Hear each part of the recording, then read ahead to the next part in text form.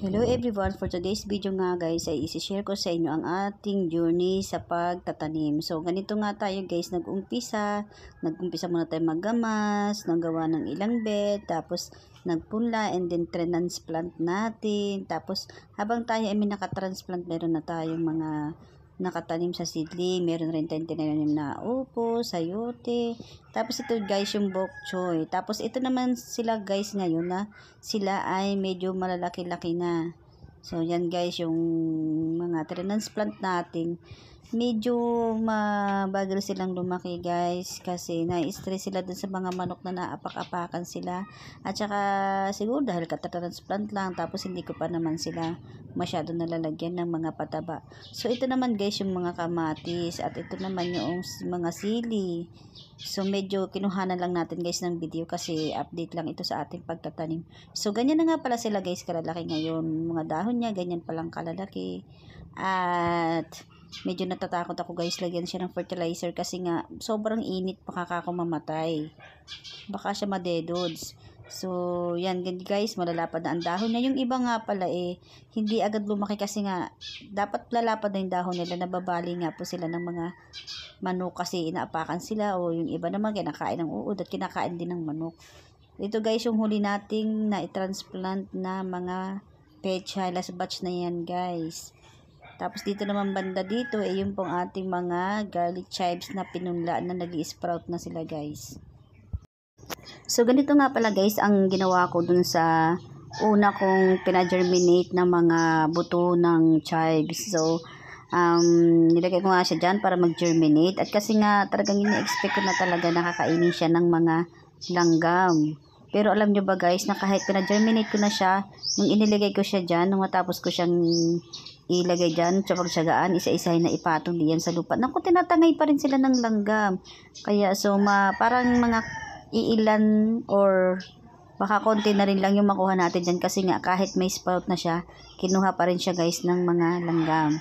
So, ang ginawa ko nga dyan guys, ay hindi ko pinatagal na humaba pa yung kanyang mga roots kasi para nagiging bituka yung kanyang roots mahaba na nakapulupot ganun.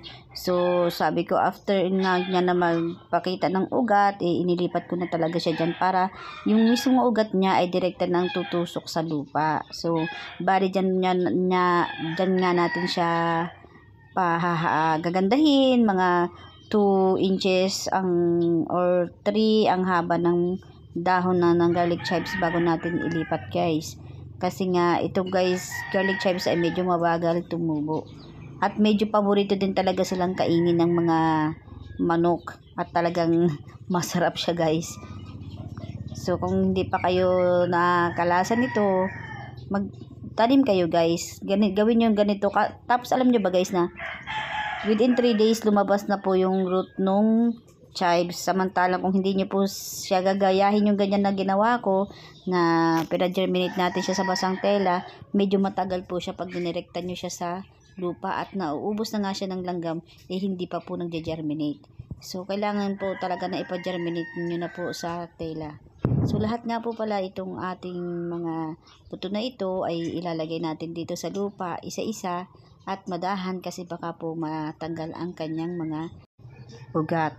Kasi since po na ang ating pong mga pina-germinate ay mga as in ka-germinate pa nga lang po, kalalabas pa lang ng kanyang mga ugat, eh medyo maselan pa po ang kanilang mga ugat at madali po itong maputol.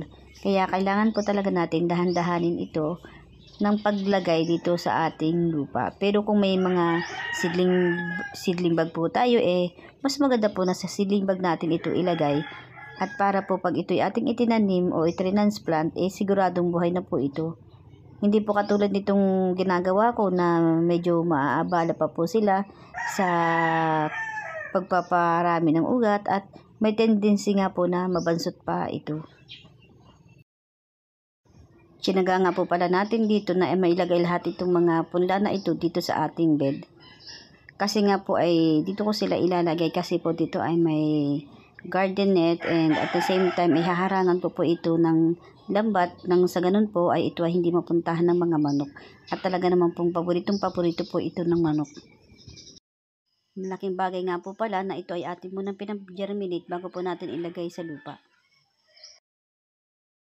Ang mga inilagay ko nga po pala dito mga buto ng mga chives ay yung lang po talagang nag-germinate na at meron na po talagang ugat. At ang iba naman po na natira na wala pa pong ugat ay hinayaan ko lang po muna ito sa kanyang pinaglalagyan. At makalipas nga po ang ilang araw, ang mga natitirang buto po na galing dito sa ating uh, inalalagay sa bed ay nagkaroon na rin po ng mga ugat at ito naman po ay inilagay natin sa paso dahil sa kadahilanan nga po na ito ay kinakain ng mga langgam upang makasigurado ako na may mailalagay ako sa bed o, o maitatanim ay ito po inilagay ko sa paso kung saan hindi po sila napupuntahan ng mga langgam. At matapos ko nga po palang ilagay itong mga mm, nag-germinate na buto dito sa ating bed. Ito nga po pala ay binuburang ko po ulit ng lupa upang matabunan po ang ating mga inilagay na buto. Ang problema nga lang po dito kahit na nalagyan na po natin ito ng lupa ay talagang kayang-kaya pa rin pong kunin ng mga langgam.